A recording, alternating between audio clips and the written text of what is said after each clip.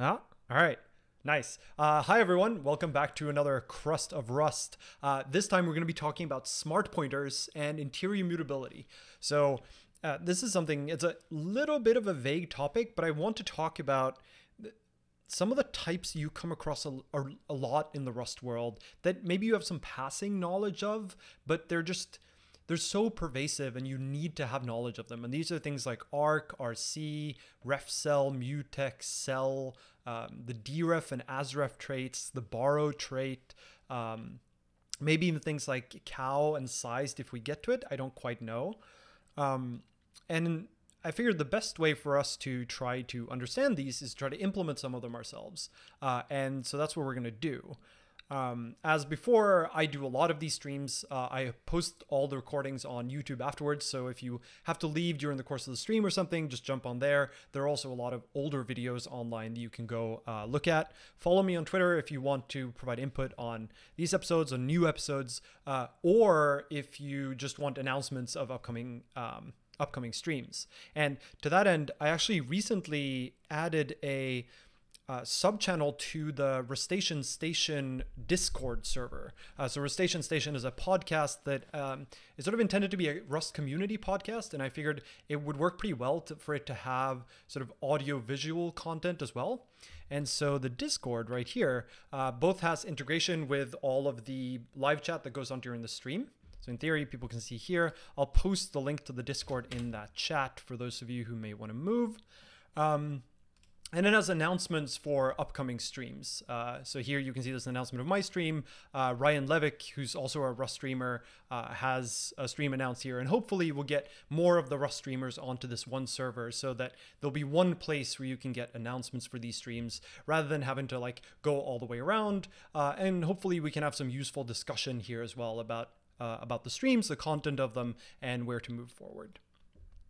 Um, and of course, go to my YouTube channel if you want to see some of the past videos. Uh, I also do these sort of, for those who haven't watched them before, I do these longer programming videos as well uh, that you can also find here, such as porting Java's concurrent hash map to Rust. Um, so if you want some more in-depth, longer videos, uh, go check those out. All right, so today we're going to be implementing, um, well, if we get to it, uh, RC, refcell, and cell um, and also discuss arc and mutex, um, and maybe also look at things like asref, deref, uh, borrow, and cow. Um, we'll see where, where we get to there. Um, I think we're actually going to start out with cell because it's the one that is has the least amount of quirkiness to it. Um, so you'll see the and, and, as before, like for these crust of rust, they're they're intended to be um, a a way for you to understand the, the sort of somewhat more intermediate concepts in Rust.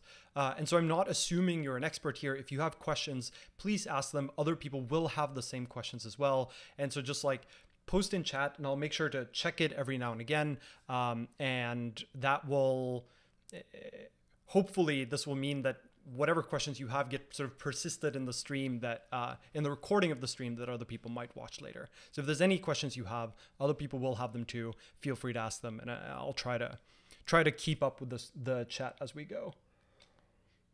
All right, great. Um, so you'll see that the Rust standard library has, let's move this over there, um, has a module called cell. Uh, and this module, as the top level uh, comment says, is shareable mutable containers. Now, um, this might sound a little bit like a, um, uh, a weird concept in Rust because in Rust you have the notion of a, a, shared reference. This is just like the ampersand, and you have a mutable reference or an exclusive reference, as as it's more aptly described as, uh, which is only one thing has that pointer, uh, and so therefore you're allowed to mutate the thing that you have an exclusive reference to. Um, and so a shareable mutable container sounds a little weird, right? This is something where you have an you have a shared reference to something, so someone else also has a reference, but yet you're still allowed to mutate it. It should immediately set off alarm bells in your head. But this module is various container types that allow you to do this uh, in a controlled fashion uh, under the constraints where, um, where it is permitted. Um, this is often referred to as interior immutability. So it's a type that externally it looks like it's immutable, but it has methods that allow you to mutate it. Um, the primary two ones, well, the primary three ones you have are cell, ref cell, and mutex. Mutex is not in cell; it's in sync um, because it it um, uses synchronization primitives that are provided by the operating system or by the CPU to make those operations safe. Um, so it, it, doesn't really belong in cell, but it kind of belongs in cell. And you can really think of a mutex as a type of cell, a type of interior mutability. Um, we're going to look at cell first because cell is is uh, it, it, provides interior mutability in a kind of interesting and very rusty way, uh, and it's a good segue into some of the more advanced things we're going to look at first. Uh, any questions about interior mutability or like exclusive or shared references just before we dive into cell? Um,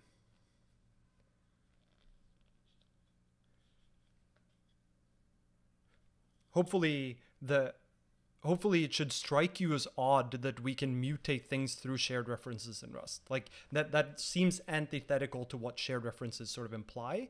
Um, even though in reality there there are ways to do this. All right, I don't see any questions, so let's move forward with cell. Um, okay, so a cell, uh, can cell be used for recursive type storage? Depends what you mean by recursive type storage you can store any type in a cell, if that answers your question. Um, if we could outline why using one versus the other would be great. Shared mutation sounds fine, but there seem to be a number of specialized tools to a similar problem. Yeah, so one thing you'll see as we go through this is what are the restrictions of the different um, cell types, the different interior mutability types. So cell uh, RefCell, and Mutex have different restrictions on what things you can stick inside of them and how you can use them. Uh, and generally, like the farther you go towards Mutex, the freer you are to put whatever you want inside. Um, but the cost, uh, the overhead of doing the the required logistics to make the type work out also increases. Uh, so I'll discuss that a little bit as we go through the types. Um, box does not provide interior mutability. If you have a shared reference to a box, then you cannot mutate the thing inside the box. Uh, is there a way to tell that a supposedly immutable struct has some stuff inside it that is mutable like a cell? No. Uh, you do not know externally from a type whether it has interior mutability. All right. So let's dive into cell. So cell is kind of interesting. Um, if we look down at what cell provides, you'll see that perhaps unsurprisingly, uh, you can create a new cell and you give it a value of some type t. Um, you can also change the value by calling set. And you'll notice the set has a, an immutable reference, uh, but it still allows you to modify the value that's contained within the cell. It also has a swap method, which lets you take references to two cells and swap the values that are inside of them. Uh, there's a replace, there's an into inner that consumes self, so assuming you have ownership of the cell, uh, which of course means that there are no shared references. And then we get down here, and you'll see that cell, where the type is copy, has a get method. And you'll notice the get does not give you a reference to the thing inside the cell. Instead, it copies the thing that's inside the cell and gives you a new copy of that value. But it, you do not get a reference inside the cell. And in fact, if you were to look through all the different methods on cell, you would see that there is no way with cell for you to get a reference to what's inside the cell. You can replace it, you can change it, and you can get a copy of it, but you can never get a pointer into the cell itself.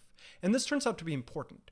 Think of it this way. If um if there's no way for you to get a reference to a cell, to the thing inside a cell, then it's always safe to mutate it right? Because if no one else has a pointer to it, then changing it is fine. Does that make sense? Think about that for a second. If no one, if we know no one else has a pointer to the value we're storing, then changing that value is fine. Right? And that is what cell tries to provide just by virtue of the uh, of the method signatures that it provides. It never gives one out, and therefore it knows that no one has it.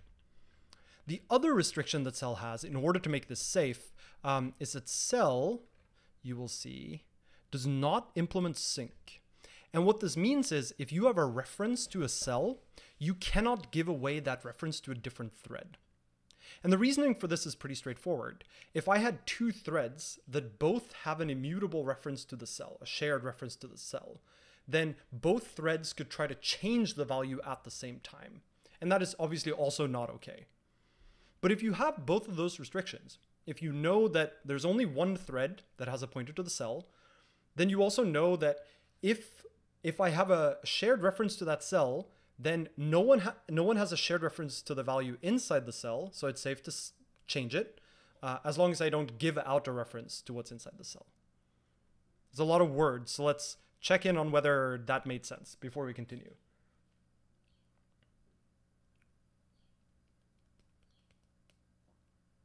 Um, all these guarantees are at compile time for cell, by the way.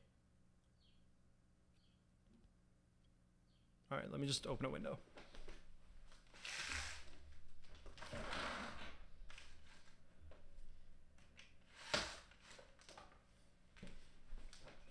Uh, question: Why can't we borrow as mute more than once for RC if it's on?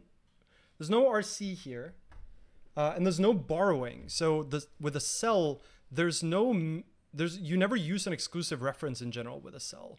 Um, if you have an exclusive reference to the cell, you can get an exclusive reference to the value inside. But at that point, you can't get or change the value, right? Uh, in the example you mentioned, you say if there's a single thread, then there's no need to worry about multiple references to a cell. In that case, what benefit does using cell provide? Um, so the benefit that cell provides is that you can have multiple shared references to a thing. For example, you can store usually cell is used with something like RC where you want you want the cell to be stored in multiple places or pointers to it be stored in multiple places like in some data structure. Like imagine a graph where some of the things might share a value, right? Then you might have multiple references to a thing. But because it's single threaded, you know that you will only be using one of the reference at a time. And so what cell lets you do is in safe code lets you mutate that value.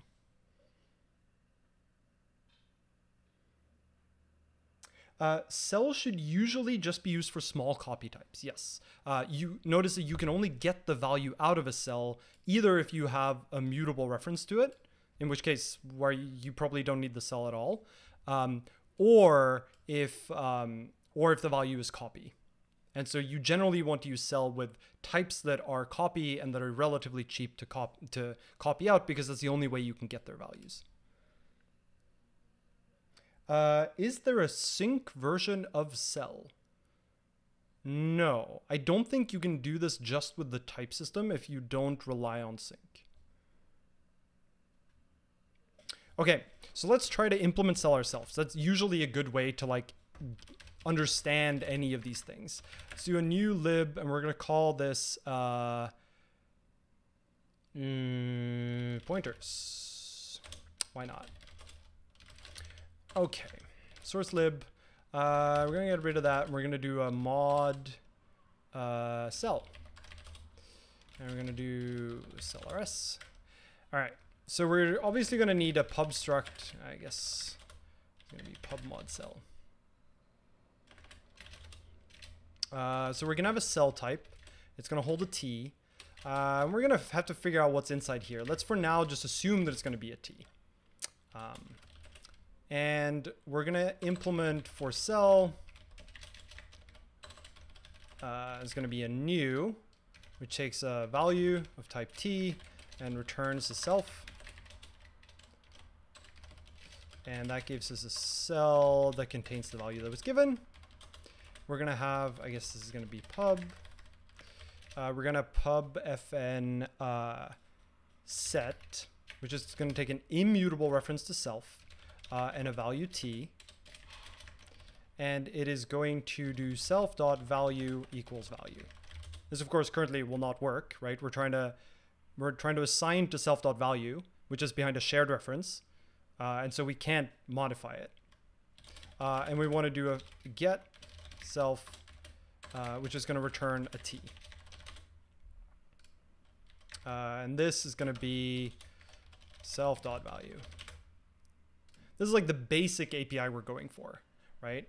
But remember that part of the part of the well, okay, let's let's try to figure out how we might actually do this.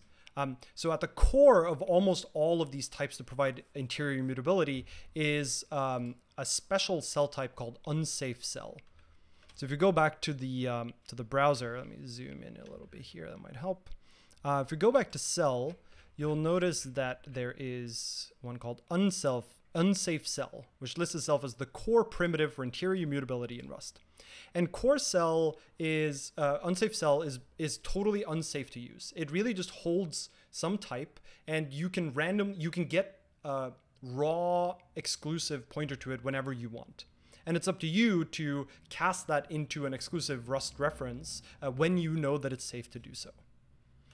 Uh, it's sort of a building block, right? So here we're going to use uh, cell, unsafe cell. And so the value here is going to have to be an unsafe cell. That's the only way that we can actually, uh, from an from a shared reference, that we can mutate something through that shared reference is by using unsafe cell. Is there a classic example of when someone would want to use cell? It's usually used for uh, smaller values, like usually things like numbers or flags uh, that need to be mutated from multiple different places. So for example, it's often used with thread locals, right? So with a thread local, um, you know that there's only one thread accessing it, and you might want to keep some thread local state like a flag or a counter or something. Uh, but the thread local only gives you shared a shared reference to that thing because one thread might try to get the thread local multiple times, uh, and then cell is a good way to provide mutability to it. Uh, why does cell have an as pointer method?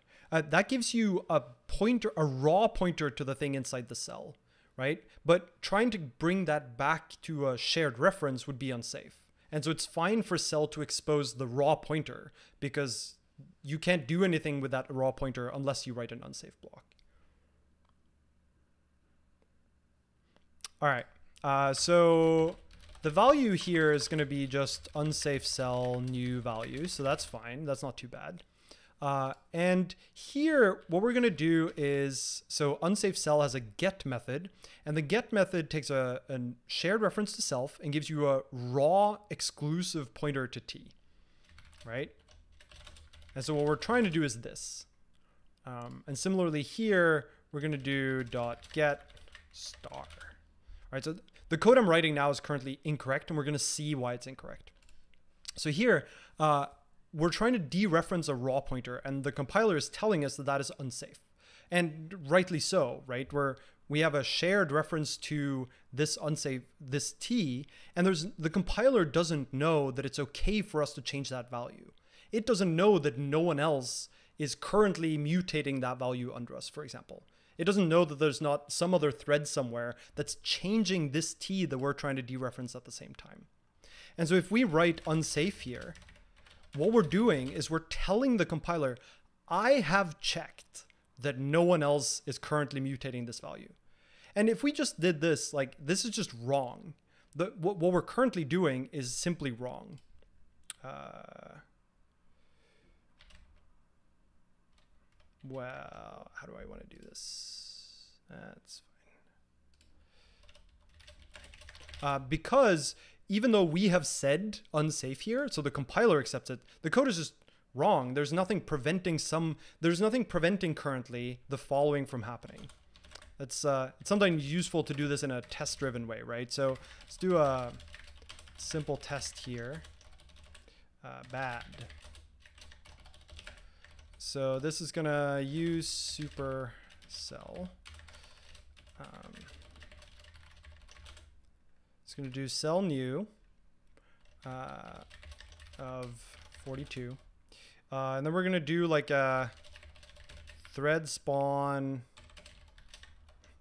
Uh, thread spawn won't actually let us do this, which is a little awkward. But let's do like an arc new of a cell new. We haven't talked about arc yet, but it, basically lets us uh, share a reference to something across thread boundaries. X dot set 43. And in this thread, we're going to do x dot set 44. uh, sync arc. There's a little bit of setup here, but clone x.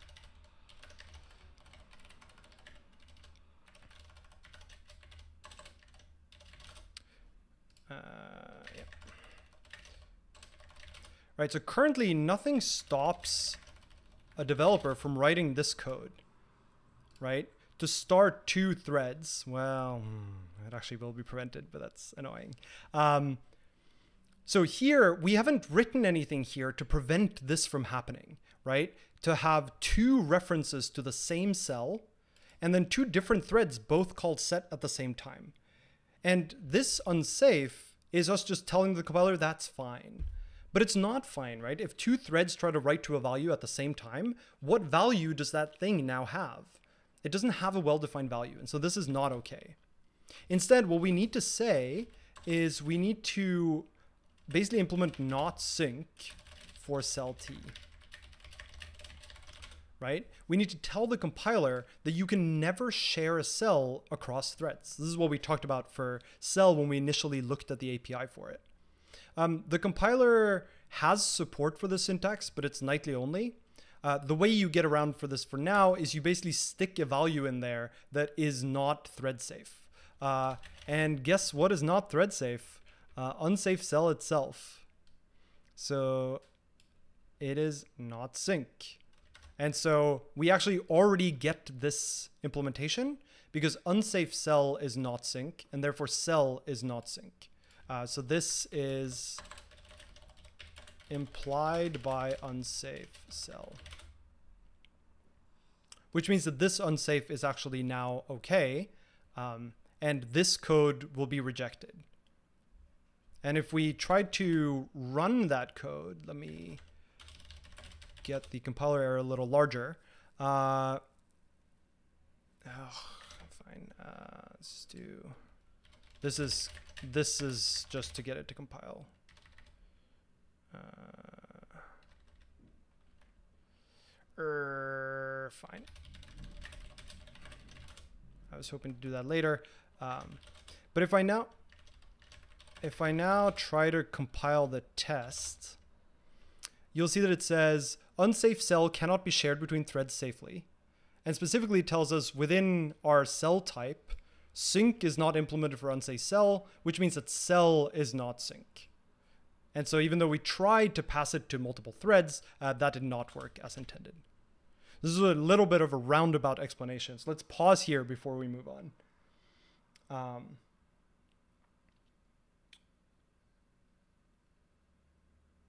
all right. This was a lot. So let me try to walk through it one more time from the top. The cell type allows you to modify a value because through through a shared reference because no other threads have a reference to it and so you can't have multiple concurrent modifications and because you've never given out a reference into the value you store and therefore you can replace it just fine. Right? So because get here returns a copy of the value that's stored inside. We didn't we never gave out a reference. And so even if we change the value, we don't have to invalidate any references because there are no references outside. And this is why this code doesn't compile because here the, we're trying to mutate the cell from two places at the same time.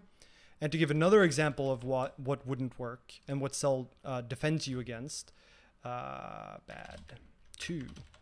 So here, I'm just gonna have a single thread and show you why a single thread can also go wrong. Um, so here we're gonna do something like a vec 42. Uh, so here, imagine that I do first is uh, x. Imagine that cell allowed you to get a reference out right? Then I could do this to get a reference to the first thing inside the vector.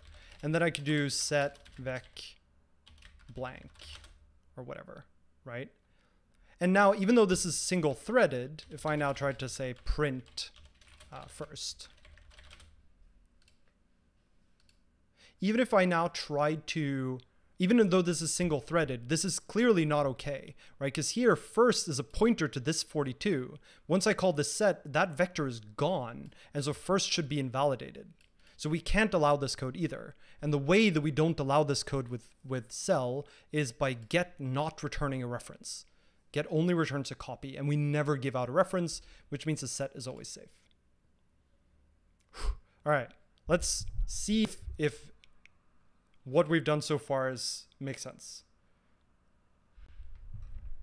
Uh, can you unsafely implement sync to show your test failing? Yes, I can. Uh, impl t sync for cell t. Uh, unsafe. So we can we can say that in fact we could if we want to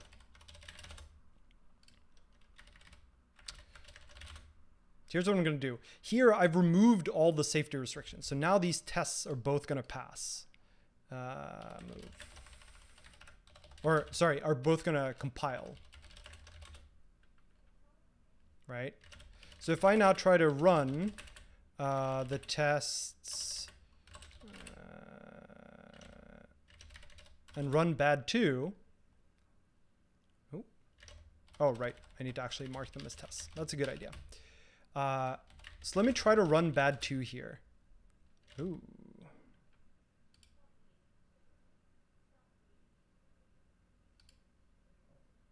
That's interesting. Um,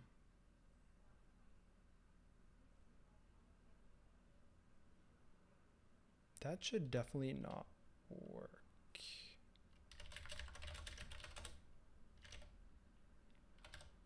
Oh, I wonder it's because it doesn't actually get deallocated. Ah. Uh, let's do box new instead. Or string. String is good. Oh.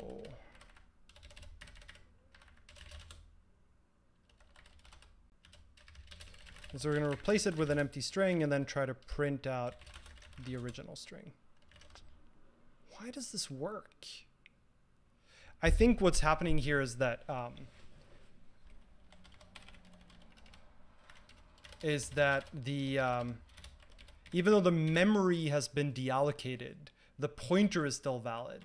So if I try to do this, that might uh, no capture. Why is it not printing this out?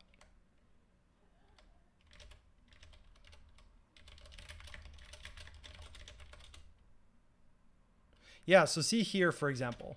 Um, so in this test, we create the string hello. We make our cell point to it.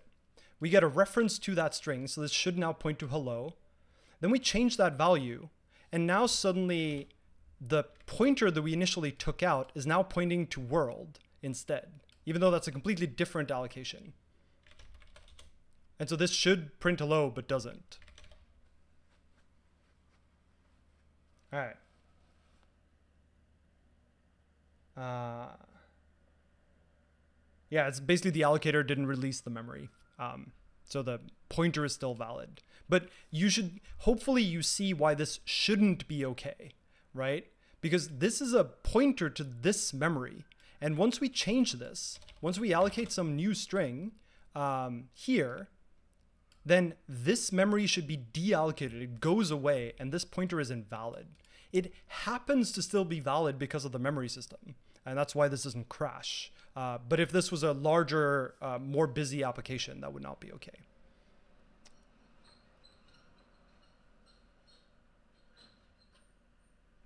All right.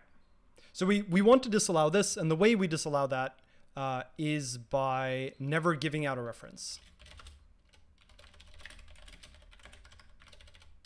Right? So we want get to only work when the type is copy, and then we give out a copy of that value. And now this won't compile because you can't get that reference in the first place. Uh, and this case, the case where you have multiple threads, this one is probably not going to fail easily. Um, like it's going to be hard to write this as a test that fails. But the maybe the way to see this is um,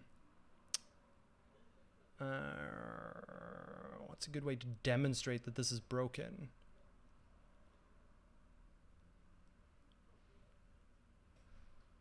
Uh, there isn't really a good way to demonstrate that this is broken, even though it is. Because the so the two threads are both going to modify the value in place. And the problem is you don't know what value it's going to be set to. Um, maybe the way to do this actually is to have this be a array. Um, it's going to be zero, 1024 zeros. And this is going to set it to be 1024 ones. And this is going to set it to be 1024 twos.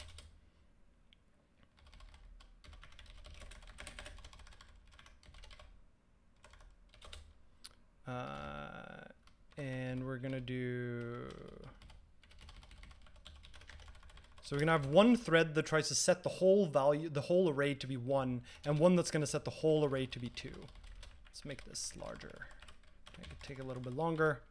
Uh, and then we're to wait for both threads to finish. Uh, and then we're to print out uh, the value that ends up being stored in there. So that's going to be x x.get. Brr, that's awkward. Um, I guess for i in x.get reprint the x.get uh, i see what happens if we run this. Huh?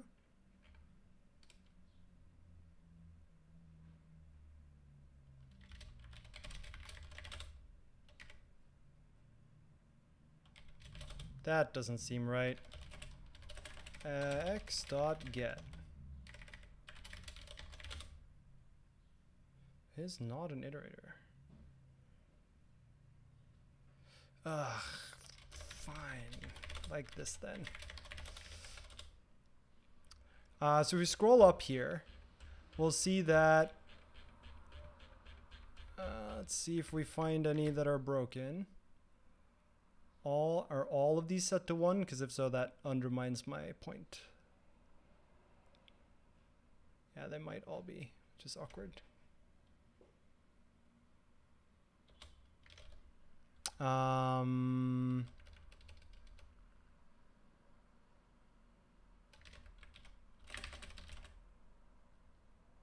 actually, here's what we're going to do. We're going to do sort or unique C. Yeah. Sorry, this is... Eh. Great. Um, okay, this printed all of them as twos. Uh, sometimes, though, this really ought to not do that. Make it a little larger.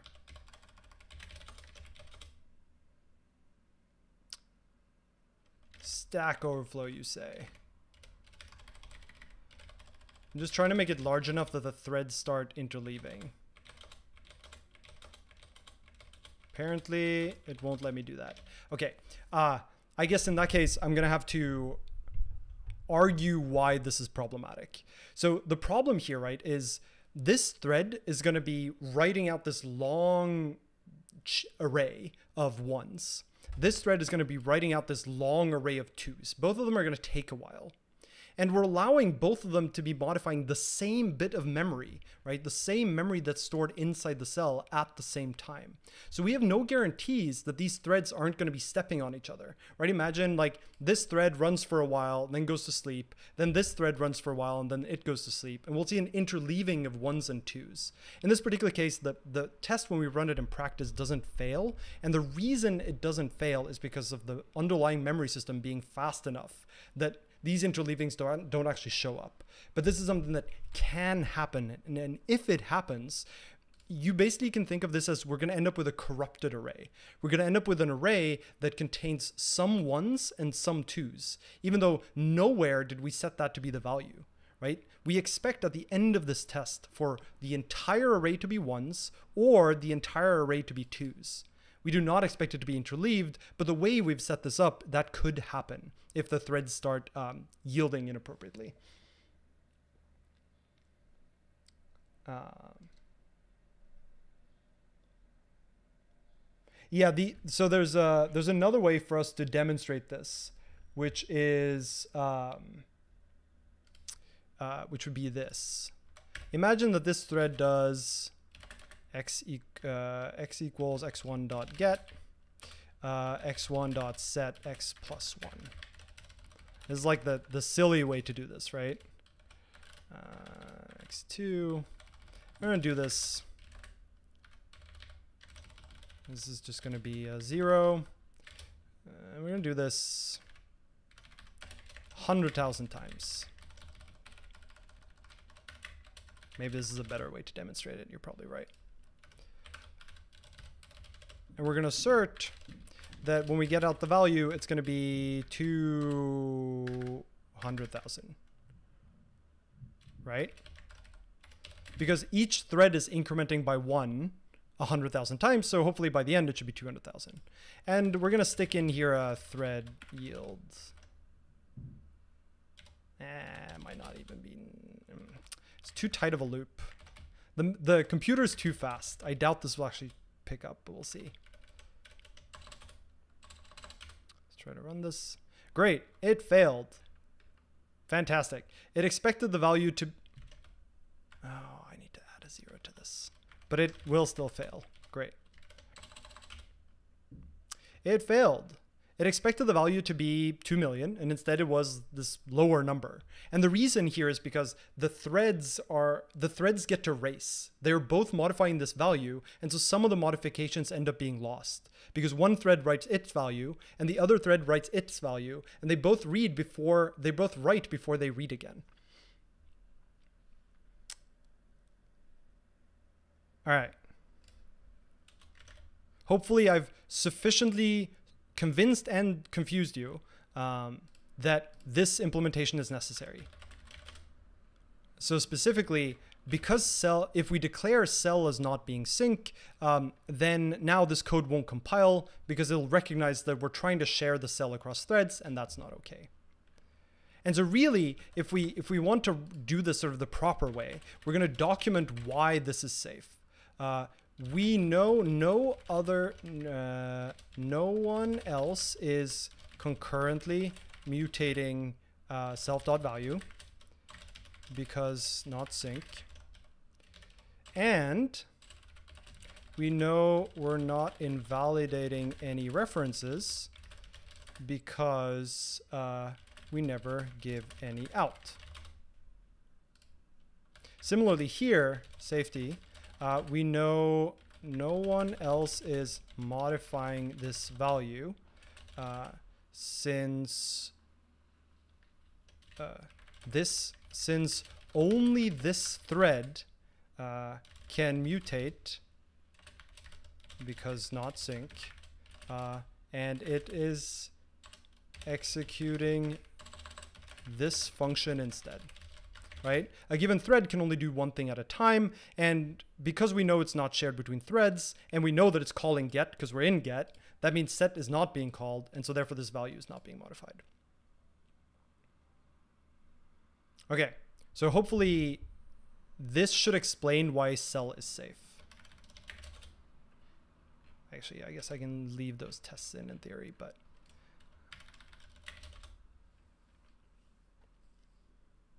Okay, does cell make sense? We went back and forth on a, on a bunch. I, I apologize for that, but uh, sometimes happens. Uh, what is the point of allowing T to be non-copy if we only have the get method for copy types? Um, oh, you're saying up here. Uh, why not do this and require it, or why not do this and require it for the whole thing? We could totally do that. Um, generally the only thing that requires it is the get method. And so far, the like idiomatic Rust way is to only put the bounds where they're needed. Mm. And this is usually you usually don't want it on the type because then any type that contains the cell would also need the copy trait, and it ends up just putting a bunch of extraneous bounds all over the place. Um, putting it only in the most constrained space uh, place means that callers only have to put it where they are actually using the cell themselves.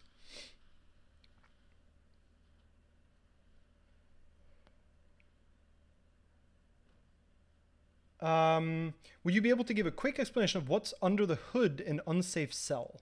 And can you explain why we need unsafe cell and cannot just unsafely cast the, the shared reference to an exclusive reference? Yes, this is an important point. The only way in Rust to correctly go from a shared reference to an exclusive reference is with unsafe cell. You are not allowed to cast a shared reference into uh, an exclusive reference. You, it's just not allowed. The only way is through unsafe cell. Uh, the reason why that's true is a little complicated and comes down to the way that the Rust compiler optimizes your code and how it interacts with um, LLVM, for example. But you are never allowed to cast a shared reference uh, to uh, an exclusive reference, just ever, except by going through unsafe cell. Uh, if you do, the compiler might optimize your code in such a way that it breaks. All right, so that was cell. Uh, now let's move on to ref cell. Uh, so ref cell is a little different. Uh, unsafe cell is really just a, it's just a T, but with the compiler has special knowledge of unsafe cell. Uh, cell does not have any special compiler instructions, no. Unsafe cell is a special type, um, but cell is not. Uh, all right, so ref cell, let's go back to our um, documentation here. So ref cell is a little different. Uh, you, if you look at the documentation, you'll see it says immutable memory location with dynamically checked borrow rules. So normally in Rust, um, the all of your borrow checking is done at compile time right? The, either you have a shared reference, in which case you cannot mutate, uh, or you have an exclusive reference in which you can mutate. But those are all determined at compile time. What refcell lets you do is basically, it, it lets you check at runtime whether anyone else is mutating. This is really handy if you have a value that appears like you're traversing a tree or something, or, or you're traversing a graph where there might be cycles. And you are like it might be that earlier in your recursion you already got a mutable reference to this thing but later down you're trying to take immutable reference to the same thing. And refcell will catch these cases. Um, but imagine that you have a graph that you know has no cycles. So you know that you have like checked your graph that it has no cycles but this is a runtime check and so you know that you can always get a mutable reference to any given node but the compiler doesn't know that because the graph is not known at compile time.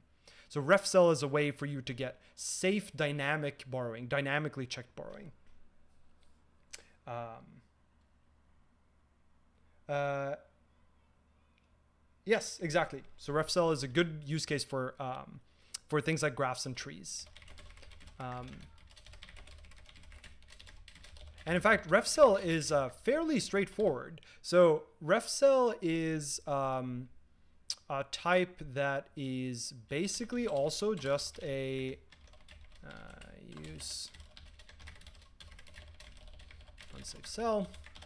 It is basically also just an unsafe cell of T, um, but it also has this special value uh, that keeps track of how the thing is currently borrowed. Uh, we're going to call this, I guess, flag mm, references. And gonna, let's make it an isize. Uh, and what we're going to do for ref cell uh, is that ref cell is going to have a new, which take a value, t, and gives you a self, and it's like standard setup stuff, right? Um, And the reference is basically going to be a reference count. It's going to be how many references have we given out to this thing and of what type. And think of it as a positive number is going to be how many shared references are there. And of course, that number can be any value. Uh, like there can be zero to a million references or to however many. It's basically infinite, right? Um, and there can only be ever be one exclusive reference because this is what the Rust ownership system requires that we guarantee. Uh, and so we're going to have a method called borrow, which is going to take a shared reference to self uh, and it's going to give you an option. Uh,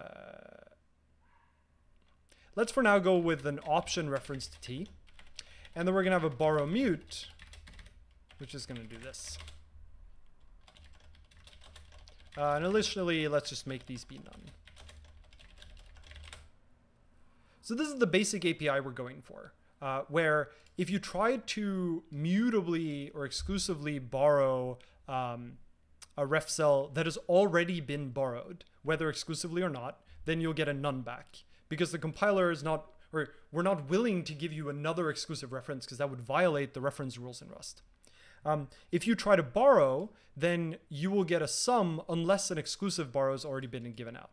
Because we want to guarantee this contract Rust has of if you have a shared reference, then there are no exclusive references. And if you have an if you get an exclusive reference, there are no shared references. And so that's why this has to be an option. Uh, does this API roughly make sense?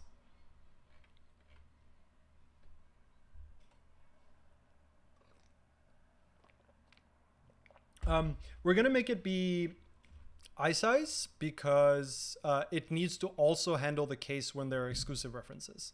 Um, it could be an enum instead if you'd rather have it be an enum. Like uh, in fact, if we want to be a little bit more explicit, explicit about this, uh, we can say uh, ref state, um, which is going to be either um, it's going to be either uh, unshared uh, or shared with some count or exclusive. Uh, and this is going to be a ref state.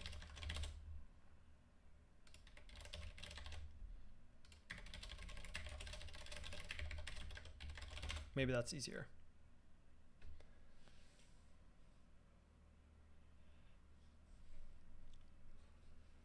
Uh, why can't we use the borrow and borrow mute trait here?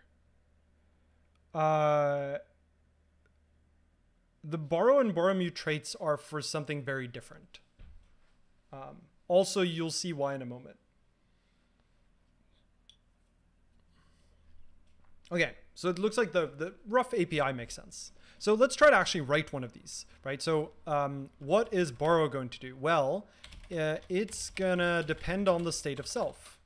Uh, basically, if the if self dot state uh, is ref state unshared, uh, then we're gonna give out a then we're gonna give out this. Uh, and otherwise, we're going to give out nothing, right? So if it's currently hasn't been shared, then we're willing to give out the value. Uh, otherwise, we're not.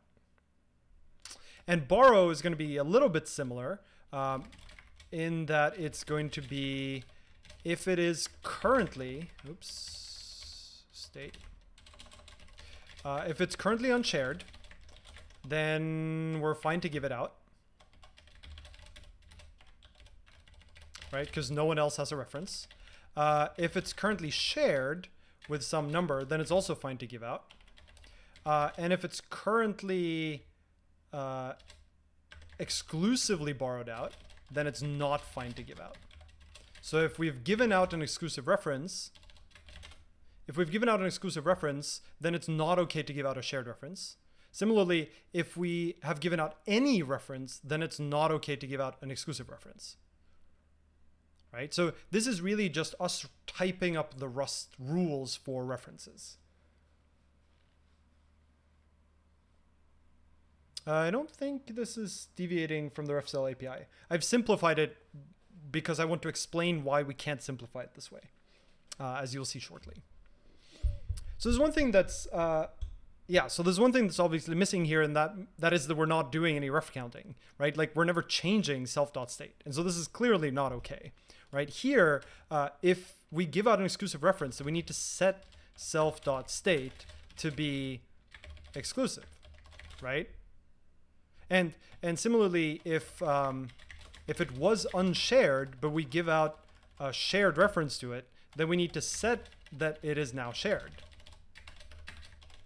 Uh, and if it was shared, and we give out another shared reference, uh, then we need to update the reference count. Right? So that, that's certainly one thing that was missing. Uh, so, but of course, this won't actually work because we have a shared reference to self, um, and we're trying to mutate something that's inside of that shared reference. And so this won't work. Well, one thing you'll notice here is that we're modifying ref state here in a way that's not thread safe, right? If you had multiple, this is basically another instance of the problem we saw before. If multiple threads were allowed to borrow at the same time, they might both read the old n, both set the new n to be n plus one, but you would end up losing one of the increments, right? So this can't, this just, this type just cannot be thread safe. Uh, so we're, this also, just like cell, uh, is not sync. But if this type is not sync, and we need some way to mutate state uh, in a place where it's not thread safe anyway, well, we can just use cell. So in fact, what we can do here is we can make this a cell. Because if you think about what we talked about for cell, cell doesn't like the, the restrictions for cell is that it's not thread safe, which is fine because ref cell is also not thread safe. Uh, it doesn't allow us to get references to the thing that's inside, and that's fine. Ref state can easily be copy, right? There's nothing really preventing us from that. Great. So why don't we just use cell, right? Because cell gives us the ability to mutate something through a shared reference. So it gives us exactly the thing that we need. So someone's asking, uh, could you use an atomic isize to make it thread safe? Uh, we'll talk about that when we get to mutex. Mutex is basically a, well, RW lock and mutex are basically uh, thread safe versions of refcell. So we'll get to that later. Um, okay, so let's use crate cell. Let's use the cell type we just made because why not use the thing we made ourselves? Right? So cell new, uh, this is going to be a dot get, and this is going to be a dot set.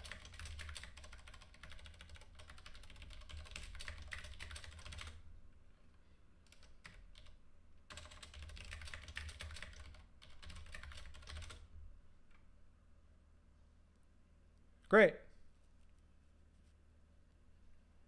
Cellception, yeah, that's right.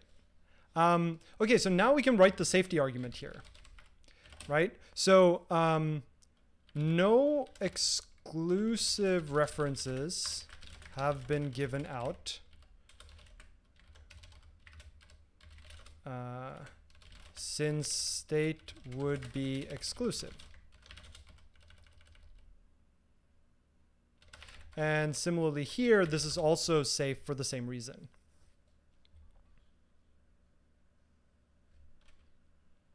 Uh, and no exclusive references. Actually, that's not even necessary. Uh, and down here for this, uh, no other references have been given out since then state would be shared or exclusive. Uh, when using something like rayon, would ref cell cell make no sense? Yeah, uh, with rayon, you need something that's thread safe, and this is not thread safe. So you need um, mutex or RW lock or some other uh, sync primitive. Right, so as chat just observed, uh, the problem here is that we're increasing these, but we're never decreasing them. So if you wrote this code, the moment you exclusively borrow something, you can never borrow it again which seems kind of useless, right? Like the moment I stop having this exclusive reference, I want to be able to get shared references again. Otherwise, this whole data structure is kind of useless. And so this is why we can't really have these be just shared references and exclusive references because we have no way to track when they go away. Uh, and so really we need some other type here. And so what we're going to do is we're going to use a ref type uh, and a ref mute type.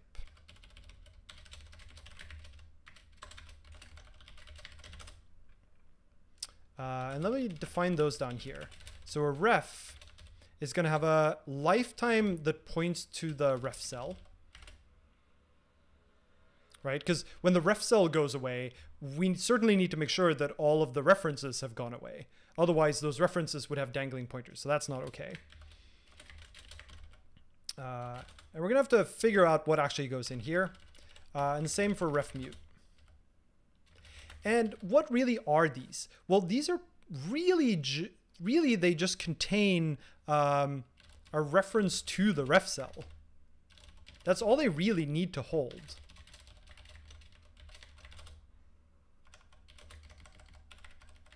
Right?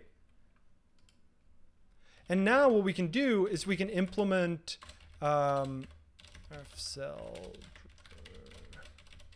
Ah, implement T drop for ref.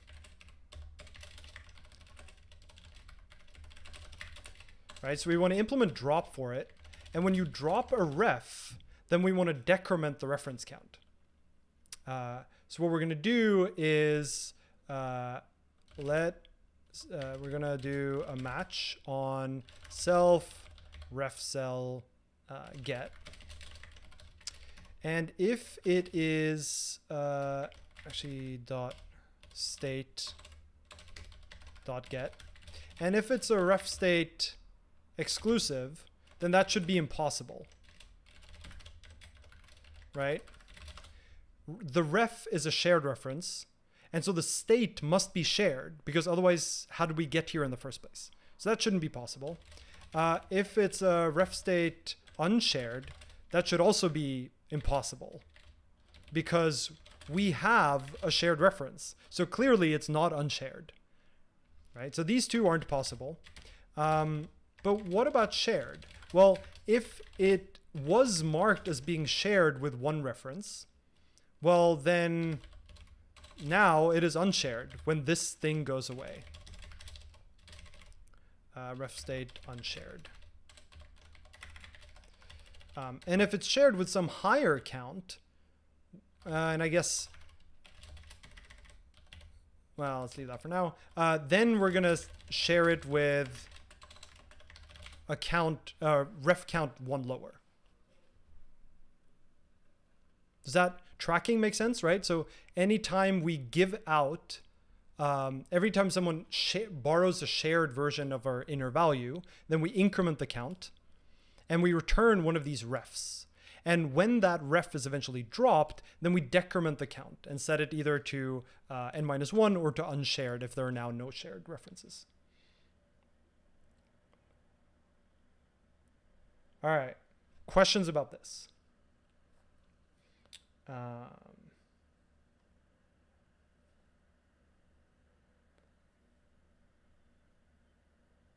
right, so uh, this ref type, let's just make this not be.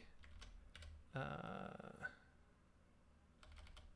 so we're going to return uh, some of ref uh, where the ref cell is self.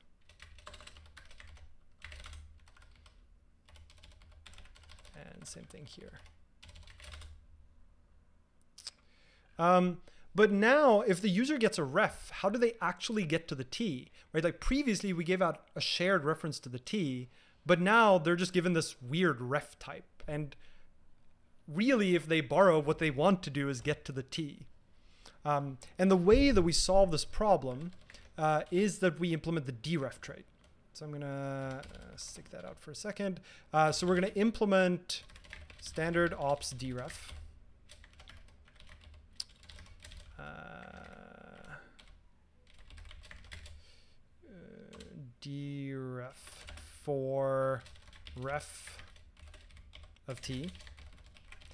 And the so deref is basically the trait that gets invoked whenever you use the dot operator. So if you have something of type t and you do like that value dot and then some method, then if t doesn't have that method, but derefs to something that does, then the deref trait gets called.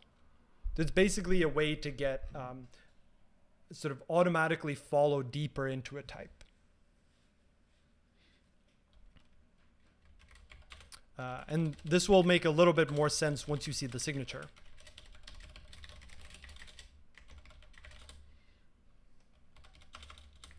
Right, so the for the deref trait, um, what you're saying, what the deref trait requires you to give is the following signature.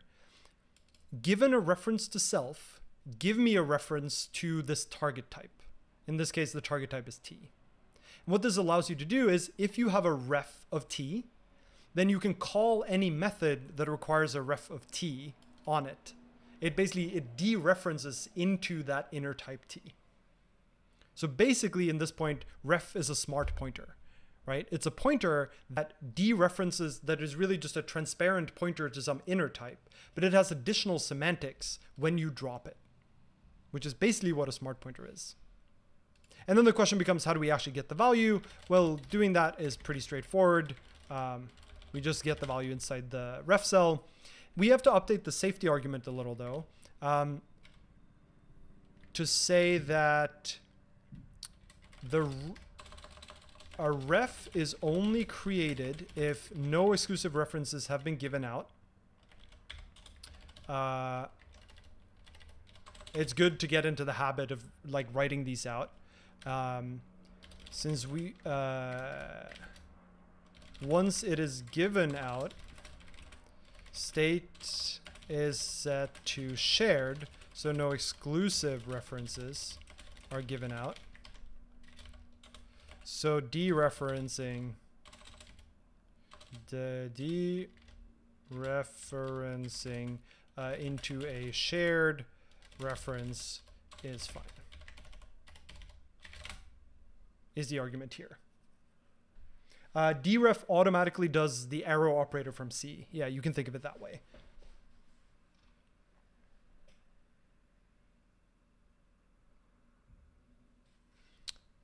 Um, and we basically want to pull the same trick for ref mute, right? So let me go ahead and copy all of what we just did for ref. Uh, we're going to make this ref mute. And ref mute works much the same way. Uh, it will also implement deref, uh, implement deref, but it also has to implement deref mute. So deref mute is a similar trait to deref, except that it says that you can go from a mutable reference to the smart pointer type and get a mutable reference to the inner, the pointed to type. Uh, and this is true for ref mute, but it's not true for ref, right? So the reason it's not true for ref is because there can be multiple refs to the same value. And so us giving out a mutable reference to the thing inside would not be okay. Because that way, if I have a ref to a thing and you have a ref to a thing, and we both try to do deref mute, we would now both have a an exclusive reference to the inner value, which of course is not correct. That should never be legal in Rust. Whereas with ref mute, here we can we can write the argument better, right? Which is a ref mute is only created if no other references have been given out. Once it is given out, state is set to exclusive, so no future references are given out. So we have an exclusive uh, lease on the inner value, so dereferencing is fine. Mutably, or so mutably dereferencing is fine.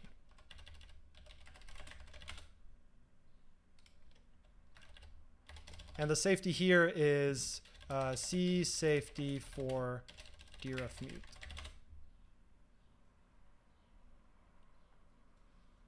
Uh, is it common practice to write safety comments for every unsafe use? Yes, I highly recommend you do this.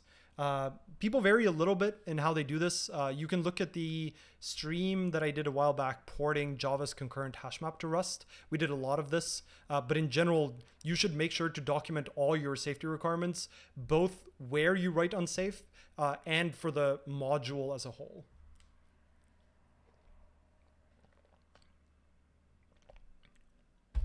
Um, okay, and then we need to implement uh, drop for ref mute. And this one is also pretty straightforward. Uh, here, shared or unshared should not be possible, right? It should not be possible for us to get, for the ref cell to be in a shared state because we have an exclusive reference. And it shouldn't be possible for it to be unshared because we have an exclusive reference. So it must be in the exclusive state. Uh, and now we're going to be, when we drop our exclusive reference, we now know that it's unshared. Uh, and of course here, we now need to do ref mute of ref cell. Uh.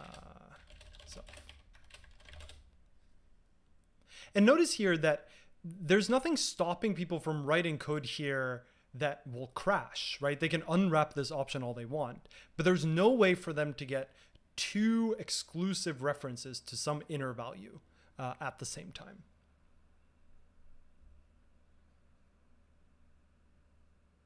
Okay, does ref cell roughly make sense? Hopefully this was a little bit more cogent than the explanation of cell.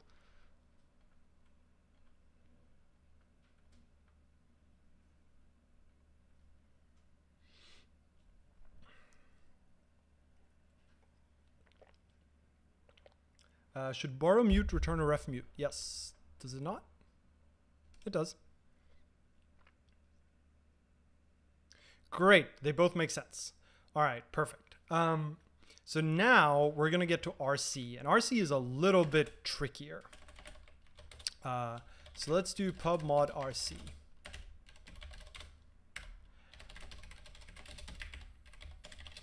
Okay, so what is RC? Well, let's go back to our documentation here. So RC is a single threaded reference counted pointer. Um, and the type RCT provides shared ownership of a value of type T allocated in the heap. Uh, invoking clone on RC produces a new pointer to the same allocation in the heap, and when the last RC pointer to a given allocation is destroyed, the value stored in that allocation, often referred to as the inner value, is also dropped. Uh, shared references in Rust disallow mutation by default, and RC is no exception. Uh, it, you cannot generally obtain a mutable reference to something inside an RC. If you need mutability, put a cell or ref cell inside the RC, uh, which is what we've already talked about before. Um, so an RC is like in some sense similar to a ref cell in that it keeps count of references, um, but it's dissimilar uh, in the sense that it never provides mutability. All it does is allow you to have multiple shared references to a thing and only deallocate it when the last one goes away. This is also useful if you have things like, uh, um, uh, usually this is useful in data structures where you might have one element be present in multiple places. Um, so imagine a, um, what's the best example of this? Um, imagine that you have some string in your program and that's that's a or some large like binary blob or a configuration or something you don't want to keep multiple copies of that blob around in your program you just want to keep like pointers to it but the problem becomes how do you know when to deallocate that big blob well the answer is when all the pointers go away but how do you know when all the pointers go away and this is what rc gives you um, but crucially, RC is also not sync. Um, uh, it's also not send. we'll get back to what that means in a second. Uh, but basically, RC is not thread safe. Uh, so it will only do reference counting on a single thread. But even on a single thread, this is useful, uh, often again in the context of data structures or things like graphs. Um,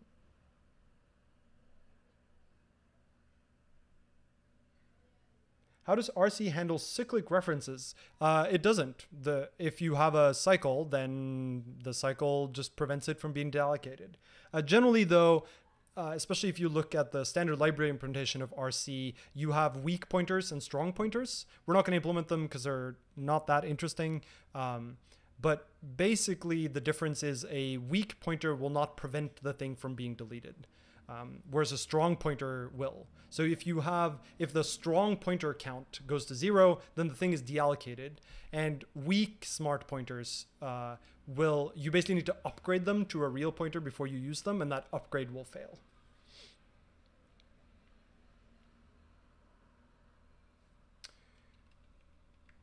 All right. So what is RC? Well, RC is basically a pointer to some type T, right? That's stored on the heap. It needs to be stored on the heap because uh, if I have mul if multiple functions in my code are all uh, referencing this this type that's stored somewhere, it can't be on the stack of any given type of any given function because when that stack frame goes away, when that function returns, the value would disappear for all the other places where I have it as well. So you can sort of think of this as it has to be a box T. Of course, it can't actually be a box T because if we clone the RC, we're going to clone the box and cloning the box clones the T, right? So really, this is just going to be something like a value again. Um, and it's really going to be a pointer to a T. Uh, and then what we're going to do is we're going to implement clone for T.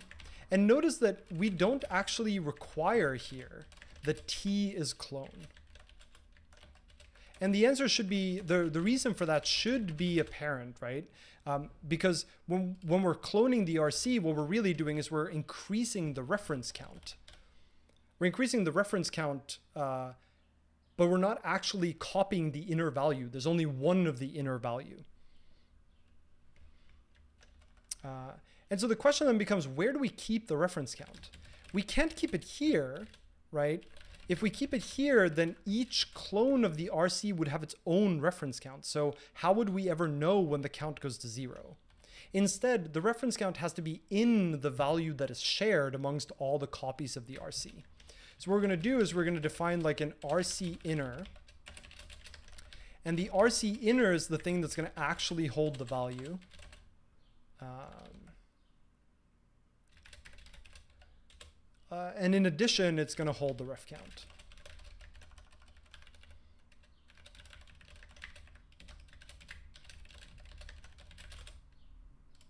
And when you clone, what we're actually going to do uh, is do a, um, we're going to get a reference to the inner thing. Uh, we're going to increment the ref count and then we're going to return an an RC of uh, just another RC, right? And then we're also going to implement deref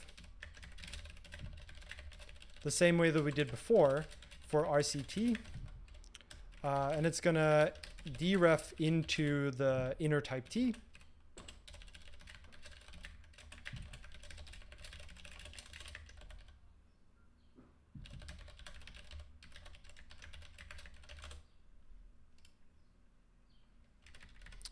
and this is going to be unsafe.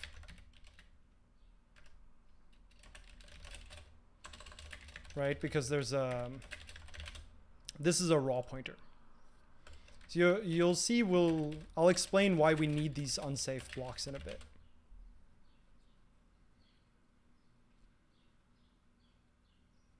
So the problem we run into here, right, is that if you have an RC, the compiler doesn't know whether this pointer is still valid, right?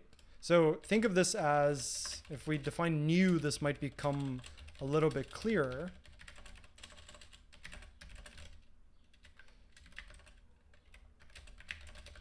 So new is really just going to do, um, inner is going to be box new RC inner where the value is v and the ref count is 1, which is the current thing we have. Uh, and then it's going to return an inner, which is going to be box into raw of inner. Right, so we're going to do a heap allocation where we're going to stick this like shared state. We could call this shared instead of RC inner if we wanted to.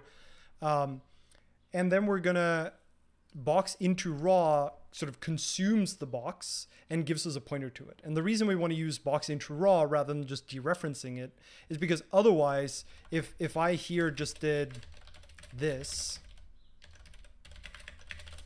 right, then when this scope ends, then the box gets dropped and so the memory gets freed. And so that wouldn't be okay. We we needed to not drop the box even though we don't have a box anymore.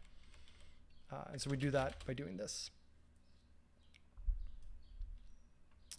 Um, but of course, inside of the deref, let's move the clone down here for a second.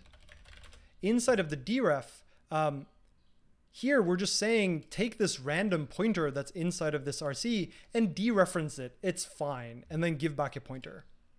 Um, but the compiler doesn't know that this is still valid. It doesn't know that the box that we initially allocated hasn't been freed since. For example, if we had written this the way I wrote it earlier, right? If I had written this as this,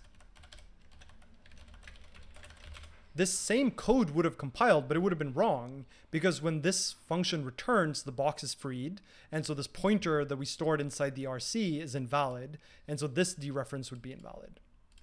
And so this needs to be an unsafe, unsafe block. And what we're asserting here, safety, um, is uh, self.inner uh, is a box that is only deallocated when the last RC goes away. Uh, we have an RC, therefore it has, therefore the box has not been deallocated. So deref is fine.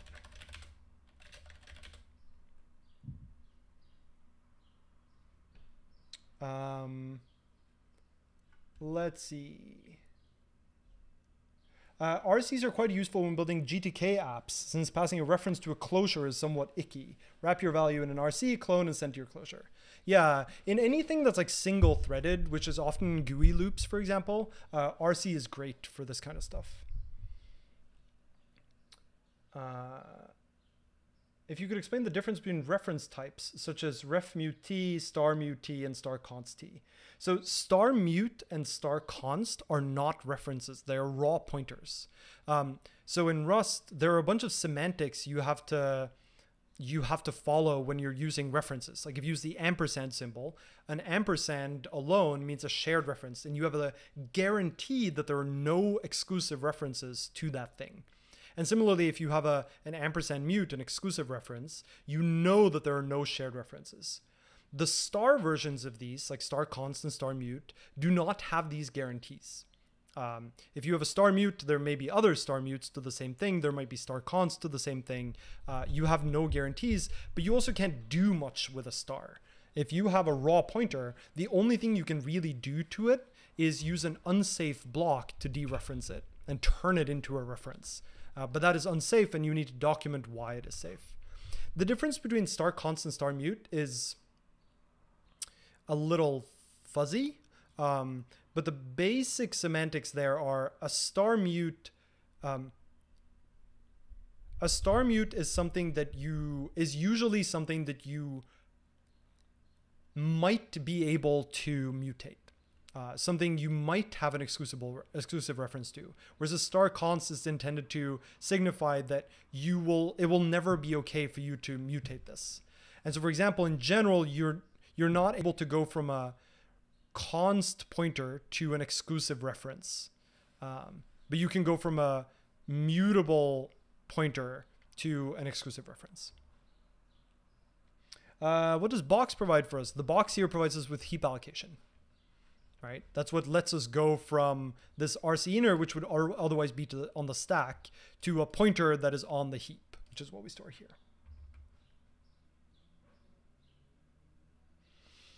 Um, okay, so for for the clone here, um, we're going to increase the reference count, but here we have the same problem as we did for ref cell, right? Which is we have a shared reference to self, but we need to mutate something inside of it. And so here, lo and behold, the problem is this, the answer is the same thing that we've done before. It is our friend cell.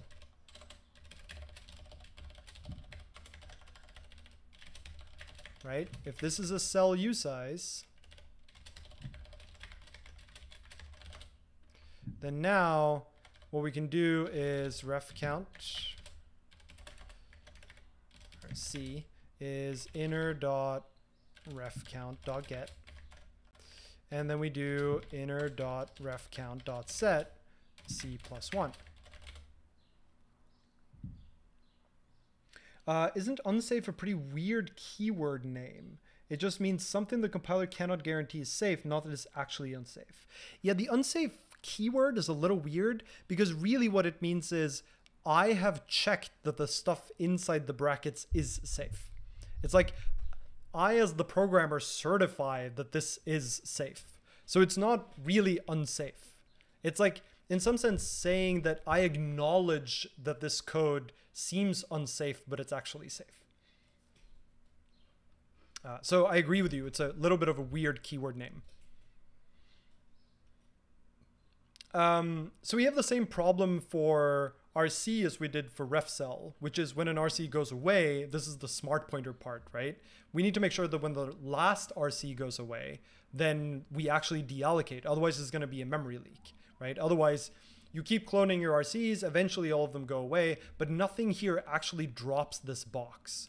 And so the value is just going to live on forever on the heap, which is obviously not okay. So we need to implement drop for RC. Um, and so the question here becomes, should we, when you drop an RC, should we or should we not drop the inner value?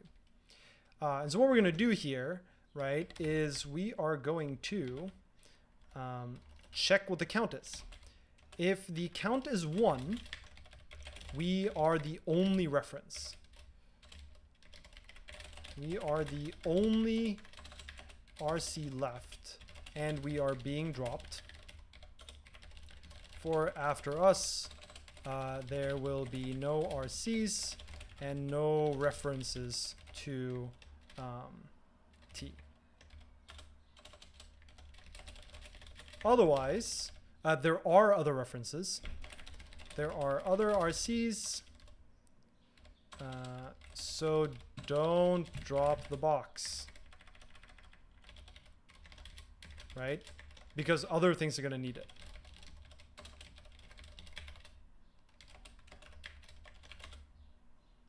But up here, um, we are the last RC, and so at this point, we need to actually drop the inner value.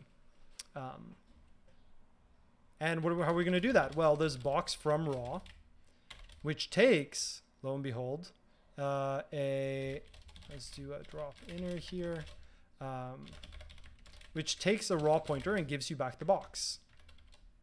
And we're going to drop it immediately.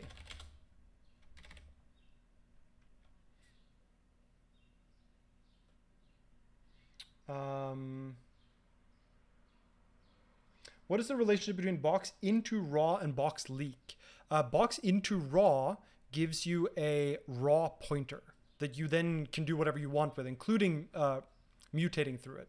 Box leak um, gives you a, a static a static shared reference to the to the heap memory because when you leak a value, right, it's going to live on the heap till the end of the program. And so giving a shared static reference to it is fine because that shared reference will indeed always be valid, as in what static implies. Um, but you can't then mutate through it, for example, uh, because it's just completely shareable. Um, you'll see that this code doesn't actually compile. And the reason here is in the difference between uh, mutable or, or star mute and star const um, box from raw requires that we give it a pointer that has that, that is not star const uh, that is star mute instead the contract here as i mentioned is a little like fuzzy but basically what they're trying to encourage here is that you don't take that that you don't take some raw pointer that might be shared um, and uh, and try to turn that into a box. Now, there are some fairly subtle thing at things that work here, um, and this ties into um, something called coherence in Rust. Um, well, sorry, not coherence, but uh, variance in Rust. Coherence is another beast. Um, but this ties into something called variance in Rust, uh, is one of the primary differences between star mute and star const. It's not something you will usually run into, so I'm not going to dive too much into it here. Um, but basically, we need to give it a star mute, and currently we're giving it a star const. Uh, we could just make this a star mute, but instead, what we're going to do is um, the standard library has this really neat thing called non-null. Uh, so non-null is, so you'll notice here it mentions variance. Um, the primary reason to use non-null though is for optimization purposes um, which is basically if the compiler knows that a pointer can't be null, right? A, a star mute can be point to can be a value of zero. It can point to nothing, uh, but a non-null, the compiler knows that the the pointer is not a null pointer, which means that it can use the null pointer as an extra value. So for the example they give here is if you have an option non-null, then the compiler can use the null pointer to represent none. So there's no overhead to an option non-null. And the other thing that's nice about non-null um, is that it's sort of like a star mute. Um, so we give it a star mute, which is what we get from box from raw, uh, and we can use it to get back this um, this star mute t, which is what we need for into raw. So let's go ahead and use that instead. Uh, use standard uh, pointer non-null. So this is going to be, oops, no. This is going to be a non-null of these. And then here we're going to do, this is going to be a non-null new.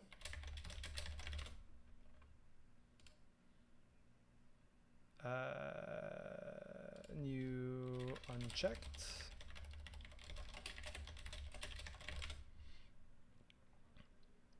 And here, of course, the safety argument is uh, box does not give us a null pointer because the box actually does give us a heap allocation.